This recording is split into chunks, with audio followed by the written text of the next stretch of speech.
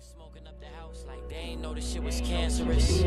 But his mom's still trying to quit. She ain't got no one to depend on to provide for a kid. She working two jobs, barely making enough to fill her stomach. And still filled with nothing. Hard times, she can feel them coming.